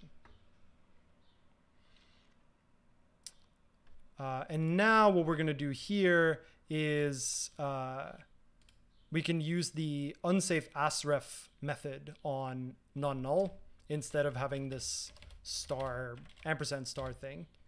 Uh, so asref. And same thing here. And now down at the end here, uh, we can now do self inner as pointer. Uh, and this is obviously is unsafe, right? The compiler, this is another case where the compiler doesn't know. The compiler doesn't know that we have the last pointer and therefore that it's safe to to turn this back into a box and drop it. But we know because we know that we're keeping the reference count correctly. Um, can't we leak a mutable reference to the value in ref cell by calling deref on ref mute? Storing the return value somewhere and then dropping the ref mute. Uh, no, so this is a good question. Let's go back to this briefly. Um, this ties into the way the deref and deref mute works. So the observation was, why don't I just get a ref mute, call deref mute, take the pointer that I get, the reference that I get back, the mutable reference, and save it somewhere, and then drop the ref mute, and then use the, the mutable reference. Um, this won't work, and the reason is because because of how uh, Rust deals with lifetimes, there's an implicit lifetime here of this which is the mutable reference that we return live only as long as the mutable reference to self, so the mutable reference to the ref mute. So if you tried to stick the mutable reference you got back from deref mute somewhere and then drop the ref mute and then tried to use this mutable reference again, the compiler would say, no, that's not allowed. You're trying to use this mutable reference after the lifetime it's tied to has already expired because the ref mute has gone away. And so the compiler would not let you do that. Uh, if we have a mutable pointer, why do we need a cell? We don't have a mutable pointer in RC. The, so we have a mutable pointer, but it's not safe for us to mutate through it, is the difference. A mutable, so this is why this is the difference between a mutable pointer and a mutable reference. A mutable reference guarantees that no one else is currently modifying it. And it is an exclusive reference. A mutable pointer has no such guarantee. A mutable pointer is just this is a pointer with certain semantics, and we call it star mute. Um, it does not it does not carry the additional implication that it's exclusive, uh, which is what allows you to mutate through things. Uh, it says memory is size aligned in Rust. Can the compiler fit other non-null variants um, in 0, 1, 2, and 3? This is something that's being discussed in the unsafe uh, in the unsafe working group for Rust. Um, I don't think they've reached a, a verdict on it yet, though. Ooh. Restream seems to be uh, duplicating a bunch of my things. Um, someone asked, why do I drop the inner before I do this? So this is me being paranoid. Um, at this line, we're dropping the box. And so any pointer into that box is invalid the moment we do this. Inner is a pointer into that box and it doesn't get dropped until here or here. Um, and so technically, this reference is no longer valid from this point forward. And so if I didn't put this here, someone could later accidentally come along and write uh, inner dot ref count minus equals one or dot set zero. And the compiler wouldn't warn them that this isn't okay. Here they're accessing something through the pointer that we just deallocated but they won't know that this is the case. If I do this, uh, if I, so that's why this, this code compiles. But if I drop this, this code no longer compiles, or at least shouldn't, um, because the inner has gone away. So that's the only reason.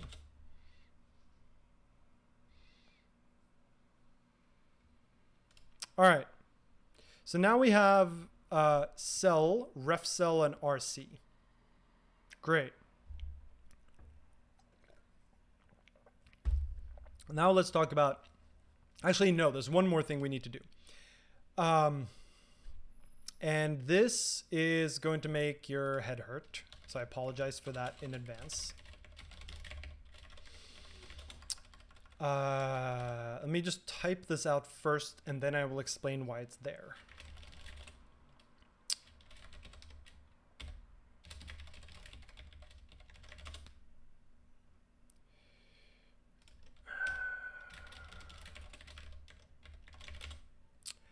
Okay, so uh, I think we need a test for me to demonstrate why this is a problem.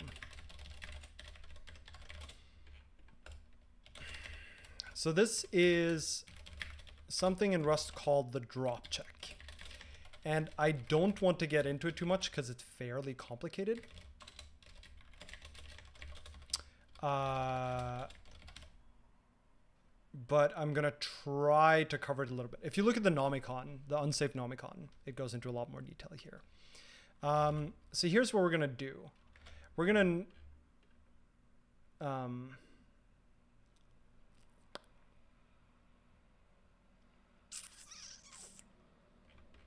how am I going to explain this? This is a good question.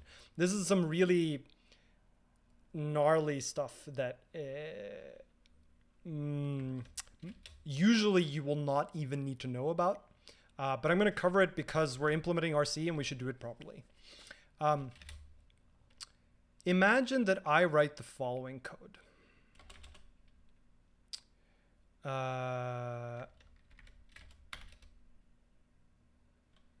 y and x. And then I say x is And why is RC new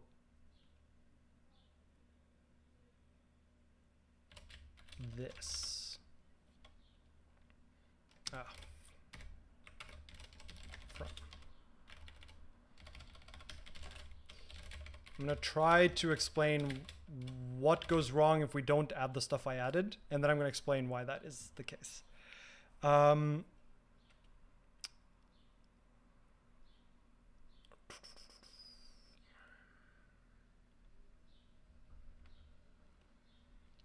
well, there are actually multiple things. Um,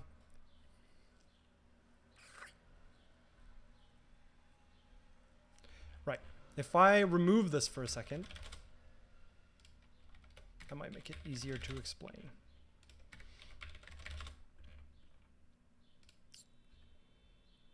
Uh, and then I do cargo tests.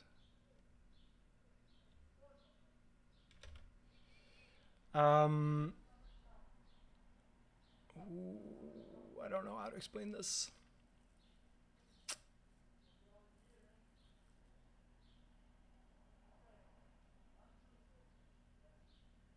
Yeah, this is um Let me try to explain it without explaining it. Uh, it's gonna seem weird, but uh, I think it's too detailed to be useful. Um, when we write this, Rust, if we don't have this marker here, Rust does not know that this type owns a t. Um, all it knows is that this type has a pointer to a t, but when this RC goes away, it doesn't know that there might be a T that gets dropped. Uh, this matters if T might contain lifetimes. So Rust has this thing called the drop check, which I'm going to explain in very basic terms uh, because it's fairly complicated, but the intuition is there. Um, imagine that I have uh, I have some type that contains a reference. And when it gets dropped, it's going to modify that reference. So i have some code that looks a little bit like this. Uh, I means struct foo t, and it has a um, it has a v that's a mutable reference to t.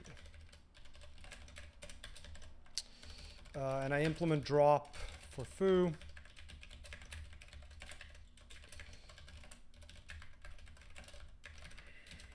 root self. Uh, and let's imagine that this does like, um, I don't know, what does this do? This does like a v dot frobnify, some mutable function on v. Uh, and now imagine that someone writes a main function uh, and they create a new foo, they create a, a t, oh, string from hello. Uh, and they create a foo.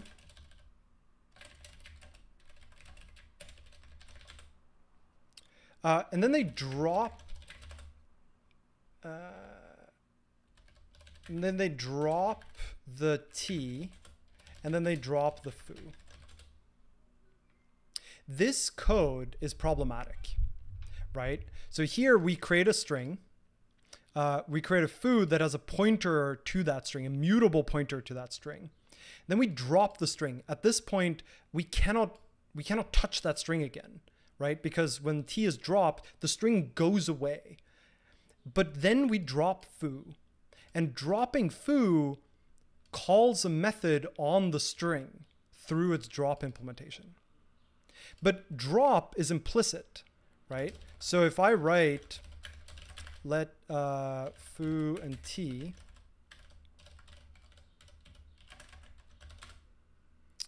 um, here what's going to happen is the t is going to be dropped first and then the foo because Rust dropped things in, in reverse order but I haven't written drop anywhere and so the compiler when functions when any type gets dropped it has to assume that every use of that type sorry every drop of that type is a use of the type and any fields that it contains. So even though I haven't written drop foo here, there's an implicit drop foo at the end of the scope of main. And Rust is going to treat that as accessing every single one of its fields. And so this means that this code is going to be rejected. Uh, I guess this is going to be this. And this is going to be... Uh, mem replace v with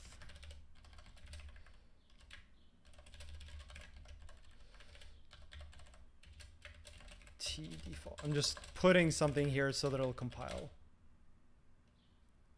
Um, so Rust is going to treat this as dropping the, when you drop the foo, it's considered a, a test of uh, a use of all the fields of foo, which includes the string. And so if these were dropped in the wrong order, Rust would, would actually catch this as a problem, right? It would say that the when foo is dropped, it tries to access t, but the t has already been dropped. This is what's known as the drop check. Um, but it can only do that because it knows that foo holds a t in here. It, it can only do this because it knows that a foo is dropped at the end of the scope. Imagine that we did this with RC instead. If I wrote RC new of foo, and now that RC is dropped, when that RC is dropped, Rust looks inside of RC and looks, does RC contain any foos? In the old case, where we just had this, RC doesn't contain any foo. And so the, the compiler is going to assume that when we drop a foo, uh, when we drop the RC, no foo is dropped. And therefore we don't have to check foo's implementation of drop. And that's not okay. That means that this code would actually be allowed to compile when it shouldn't, even though t has gone away, because the dropping of this RC will not count as a use of this string, because the compiler thinks that RC doesn't contain a foo. By adding this marker, so phantom data is a way to say there's one of this type, but I'm storing none of them. It basically tells the compiler, treat this type as though we have one of these in here. Uh, even though we only have a pointer to it, this makes the compiler, that lets the compiler know that we own something of that type. And so when you drop an RC, you need to treat it as dropping one of these. Okay, that is a complicated, simplified explanation of a very complicated topic in Rust. Uh, I highly recommend that you go look at the Nomicon drop check. Ooh, that's very bright. Sorry about that. Ooh. Ooh. Um, so the Nomicon on the drop check has way more details about what this check is, uh, about a, an escape hatch that in technically we need an RC, but I'm not going to go through it. Um, hopefully that made a little bit of sense. Uh, but I'm going to take some questions because I agree that this is complicated, what I just explained. But I felt like I couldn't, I couldn't not put this in there because without it, RC is broken. Uh, and I couldn't put it in there without explaining a little bit about it. All right.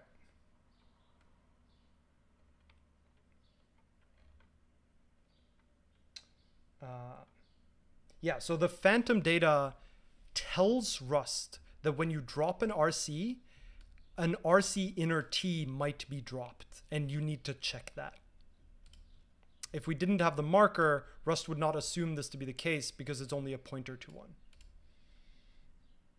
Uh, would it be sufficient to have phantom data T instead of phantom data inner RCT? Um, yes, although um, it's a good question. I think this actually was a pull request to the standard library to change it from being just a T to an to like the wrapper that internally in the standard library we have.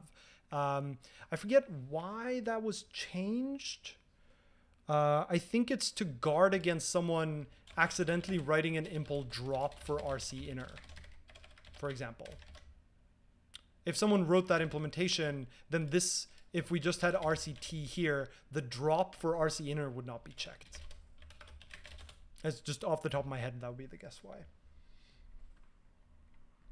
Uh, this only needed this is only needed when t is not static.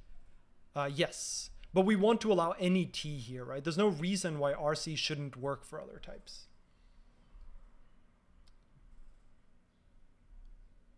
Uh, all right. Um, so there's one other thing I want to mention for uh, RC in particular, which is if you look at the real definition of RC uh, over here, you'll see that the RC type allows the T to be unsized. So question mark sized here means it's opting out of the, so Rust normally requires that every generic argument is sized. We talked about this in a previous video. And question mark size is the way to say, I'm opting out of that requirement. Um, and uh, sized we're not actually going to go through how this works internally in the stream because it's a little complicated and because you need some unstable features to actually support this fully. Um, but if you are curious about the kind of stuff that um, question mark size will let you do, uh, we'll probably do a future stream on trait objects that we'll go into it in a little bit of detail. Uh, and you'll want to look up the um, coerce unsized trait, um, which is a which deals with some of the restrictions of why it's hard for you to implement RC fully yourself if you want to support dynamically sized types.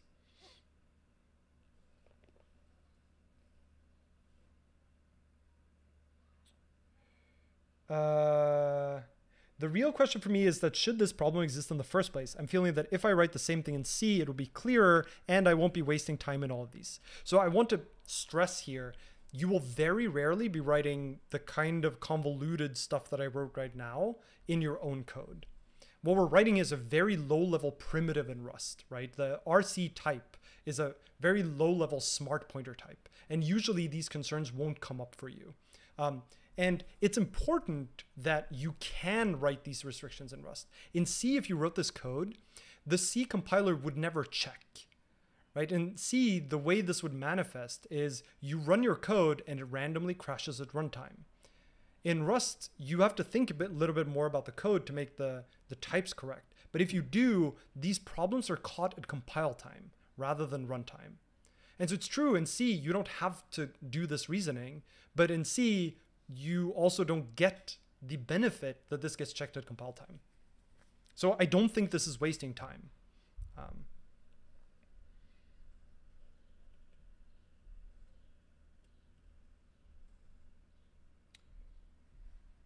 Uh, what is the difference between exclamation mark sized and question mark sized? Uh, exclamation mark sized means not sized, and question mark sized means uh, it does not have to be sized. This is because the default is that everything has a sized bound. There's a way to opt out of that bound. Um, all right. Um, so the next thing we're going to cover in the last bit of time is the synchronous versions of these. So if you have multiple threads, then the strategies we've written so far don't quite work, right? Um, in the in the cell case, if you have multiple threads that can mutate at the same time, there just is no equivalent of cell. Because even though you're not giving out references to things, having two threads modify the same type at the, or the same value at the same time is just not okay. Um, and so there actually is no thread safe version of cell. Uh, ref cell is a little interesting. So in the ref cell we wrote, right, you have uh, borrow and borrow mute, and re they return options. You could totally implement a thread safe version of ref cell. Um, one that uses an atomic counter instead of cell for these numbers. So it turns out that the CPU has built-in instructions that can uh, in a thread safe way increment and decrement counters. Um, so you could do that. In practice, this is usually not what people want because if you borrow and get a none, but you need the sum, just because some other thread has it, you would just have to like spin in a loop to get the sum that you wanted, which isn't great. Uh, and so the multi-threaded or the the the uh, synchronized version of RefCell is usually uh, RW lock. So if we look in sync, you'll see that it has a bunch of different types, um, and RW lock is one of them. And what a reader writer lock is, is basically a ref cell where uh, the counters are kept using atomics, so they're thread safe, but also borrow and borrow mute, which in um, the reader writer lock are called read and write, um, they don't return an option. Instead, they always return the ref or the ref mute. But what they do is they block the current thread if the borrow can't succeed yet. So they block the current thread until the conditions are met. So for example, if you call borrow or the equivalent in ref in reader writer locks called read, then if there's an if a thread has exclusive reference to it, it will block the current thread until that exclusive reference is given up. And at that point, that thread will resume and you'll have the shared reference.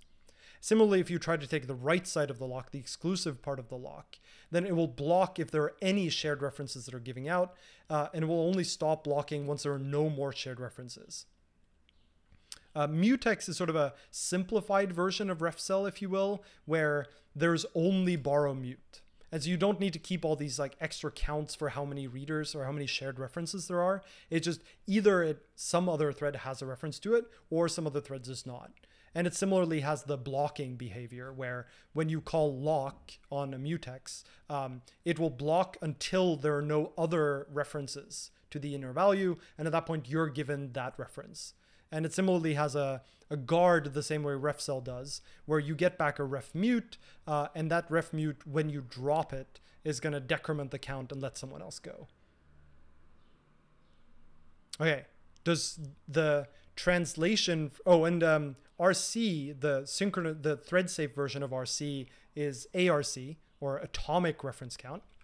Uh, so if we go back here to sync, you'll see there's an arc and this is a thread safe reference counting pointer.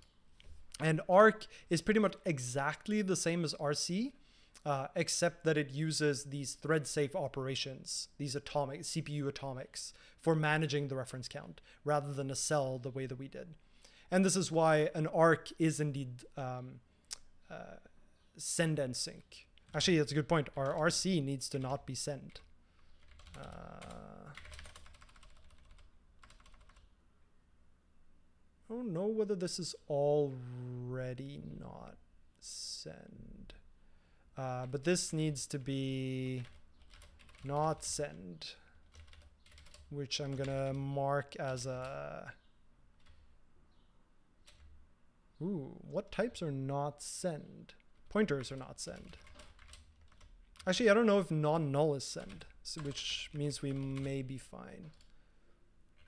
Uh, uh, so with a with an RC, it's not safe to send it to different threads because the count is not uh, is not thread safe, right? So if I sent an RC to some other thread and that other thread dropped the RC and I dropped an RC at the same time, both of us would try to use the cell to decrement the count, but that's obviously not okay because cell is not thread safe. Um, and so the RC cannot be sent. Uh, and non-null is indeed not sent by default. Um, can you guarantee thread safety across FFI boundaries? Or is that just the C code calls into you, need to uphold some guarantees? So across FFI boundaries, there are no guarantees. That's why everything across an FFI boundary, boundary is inherently unsafe. Um, and any guarantees you want to give, you have to establish by wrapping it in an unsafe block. Um, why would you ever prefer RC over ARC? Um, RC is much cheaper. So the there's a cost to using these atomics. Uh, they're much more expensive in terms of number of CPU cycles and, and um, coordination overhead between cores. So in general, you want to prefer the non-thread safe versions if you can because they are cheaper to, to use. They have lower overhead. Uh, is there an async RW lock? Yeah, I think both async-std and Tokio and um, the futures crate and the futures intrusive crate have um, uh, asynchronous mutexes. Uh, all right, so now we've covered the, oh, sorry. So RC is indeed not send because non-null is not send. So we're fine there. Um, we have a couple of minutes left.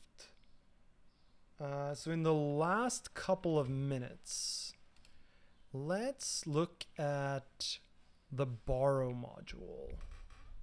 Um, so the borrow module is a little weird because it's not, it's sort of a smart pointer. We're going to look specifically at the cow type.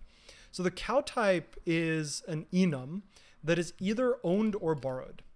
Uh, so if you have a cow of t, then the cow either contains a reference to a t or it contains a t itself, roughly. Um, so think of this as either it contains a reference to a string or it contains the string itself. The name comes from copy on write. And the idea here is that um, is that when you have, let me pull up the here. Um, so cow implements deref, so you can get uh, a shared reference into the cow. And if the cow is itself just if it just holds a reference to something else, it just passes access through there. Uh, but if it if it owns the thing it contains, it gives you a reference to that. But crucially, if you want to modify the value inside of a inside of a copy on write, then if it's a reference, you can't modify it because it's a shared reference.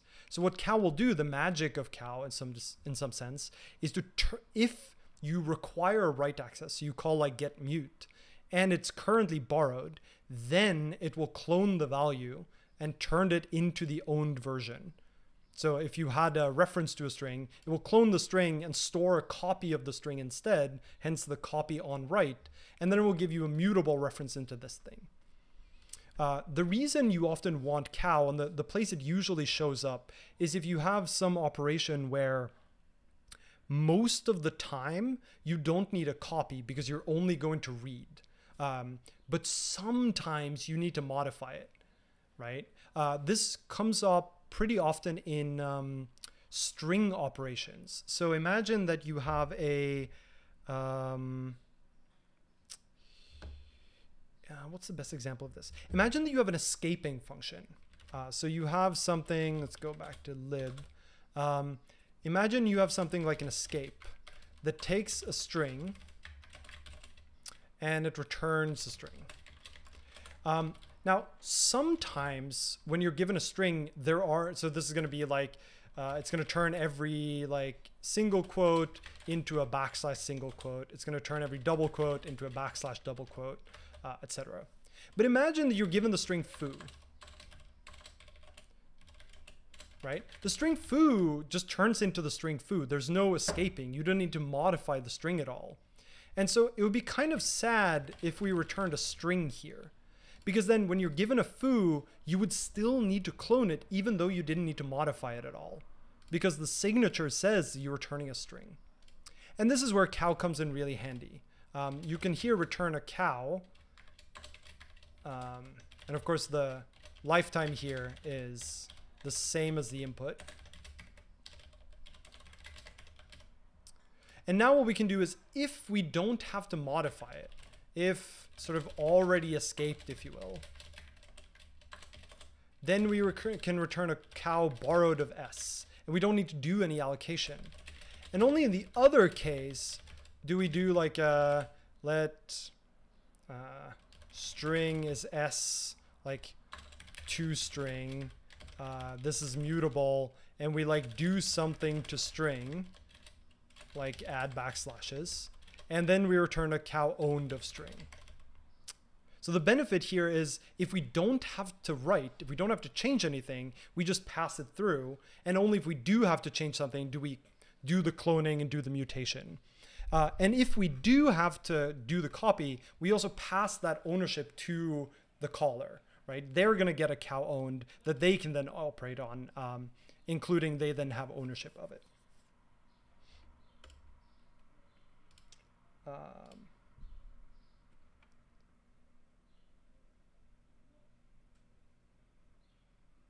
Uh, so why does from UTF-8 lossy return cow, but the other UTF variants don't? Yeah, so that's a good example. Um, so in the string type, the string type in the standard library has a, um, a function called from UTF-8 lossy. Uh, and what this does is it takes a, it takes like a, a bunch of bytes uh, and it turns you a cow uh, stir. And the reason it does this is that if the given byte string is completely valid UTF-8, then you can just pass it straight through. You can just cast it to a string reference and just pass it on through, right? I guess it should be borrowed uh, of like bytes as stir. It's not quite what it does, but like if valid UTF-8 bytes and this. Um, and if it's not valid, then what they do is they like walk. Uh, they do like a. It's gonna be vec from bytes because this is a slice, right? So let's create a vector of bytes, and then they're gonna walk through bits uh, and replace with uh, this like uh, un invalid character uh, UTF-8 symbol if not valid UTF-8. Uh, and then they're going to return cow owned um, sort of bits as string. This is a little simplified little pseudocode, right? But the idea here is basically the same as what we saw for the escaping, where if you don't need to modify, then don't allocate. Uh, and the cow type lets you do that. Uh, the other from UTF-8 types um, usually allocate regardless. And if they allocate regardless, then then there's no reason for the cow type. Uh, some of them are like checked from UTF-8, so they return a result. And then there, you never need the mutation, so you can always return a reference. Um, I think we've now covered most of the smart pointer types in Rust, right? So we talked about, um, let me go back here. We talked about cell first, which is for uh, non-thread safe, uh, non-reference uh, interior mutability. Then we talked about ref cell, which is dynamic interior mutability. Uh, then we talked about RC, which is for uh, dynamically shared references. Um, so this is something where you don't know how many references there are going to be. You don't know when the inner value is going to be dropped, um, and that you only know that at runtime. Then we looked at the uh, thread safe versions, the synchronized versions of those types. Uh, and then we looked at cow, which is not really a smart pointer, but kind of a smart pointer, right? It's like a copy on write pointer uh, that upgrades when you need it. Um, all right, I think that's all I wanted to cover. Um, there's a lot to digest here, so consider going back and watching the stream again uh, when the recording goes up and see if you can tease apart some of the explanations, which are a little convoluted at times. Um, and apart from that, thanks for watching, and hopefully I think next thing will probably be like a bit of like a potpourri, like a mix of different things, maybe trait objects, uh, maybe things like the borrow trait.